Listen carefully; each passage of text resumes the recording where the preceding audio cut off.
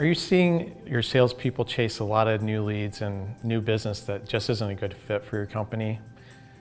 Are you worried because they're getting a lot of think it overs, we'll get back to you, and it takes a really long time to close business? Are you concerned that the business you're getting in really isn't the profitable business or the type of business you want to grow your company to the next level?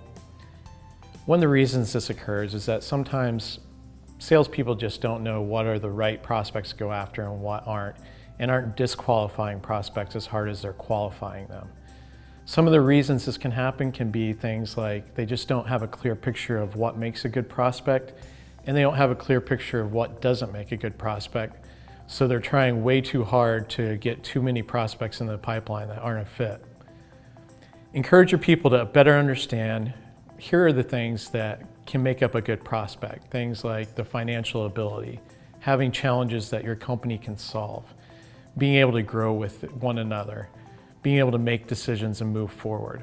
And also know what your no's are. Things like, you know, not able to pay their bills on time, not the right services that you can offer and solve problems to, and things like that. Encourage your salespeople to more consistently disqualify prospects on a regular basis so that way you have a stronger pipeline with less prospects that are more profitable and can help move your business forward.